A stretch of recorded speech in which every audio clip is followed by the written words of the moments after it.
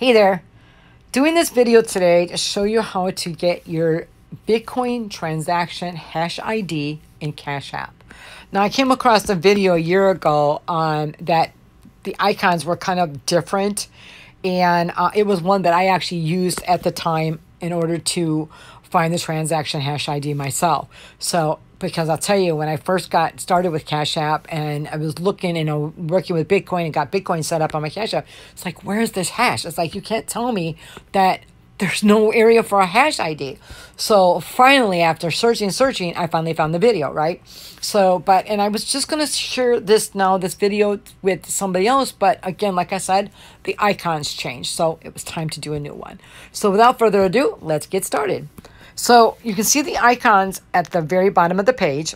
First one is a house. The next one is a uh, debit card, which if you don't have one, they're absolutely awesome. You can design your own. You can like, uh, mine says financially free and it's like uh, a neon green. Oh, it's really cool. And it stands out in my wallet big time. So I absolutely love it. The page we're on right now is the center one, which is the uh, the dollar sign. Then you got the hourglass, which gives you kind of like um, like uh, information on it and everything else, like for different things going on. Pretty cool. Uh, and the far run to uh, the right is uh, looks like a clock with the clock hands. That's where we're going to go right now. Okay. So as you can see, uh, once we click there, this is the page with all your transactions on it. Okay, here's different things maybe at the top. You'll see where um, you, you different places you shopped, people you sent money to, that type of thing, you know, your activity. Okay, now when you make a sale, uh, basically it's usually, you know, money coming into you and then you'll convert it into cash or whatever so that you can take it and send it right to your bank account. That would be the sale. Okay, deposit, of course, Everybody knows what deposit means. And then if you scroll down, now I don't know why it says this, but whenever you're sending money to someplace, in Cash App, it calls it a withdrawal, okay? So to find out the hash the hash ID, you would have to find withdrawals, okay? Uh, normally, if it was something you just did, it's going to be right at the top. But of course, I it's been a while since I've done that, so I had to scroll down a little bit to find one in, for this example for the video. Okay, so basically what we're going to do is we're going to click on withdrawal. And here you can actually go to uh, the withdrawal information to find that hash ID, or you can click on web, web receipt if you needed that as well, or you can take a screenshot of this if they just need, you know, a screenshot that you sent it type of thing. But let's go to uh, the web receipt real fast.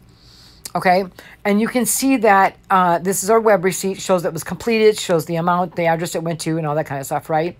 So, and then you can see here, um, you can also reach the, the Block Explorer from this end as well, or you can click the uh, withdrawal button, the blue one on the other screen that we just had, and you can do it that way as well. So here we're just going to click on this one since we're already here. And now this opens up our page to get our transaction hash ID, okay? In the middle of the screen, you're going to see in bold white letters, transaction. Below that, in the pretty blue, you're going to see all kinds of numbers and letters. Uh, that is our that's our transaction hash ID for our Bitcoin. Okay. Now, just to the right of all those pretty blue letters and numbers, you see the little white box, tiny little thing. Sometimes I have a magnifying glass to see the stuff that they have on your right. So if you click on there, though, you'll see that it came up as copied. Did you see that? I'm going to do it again. See it says copied?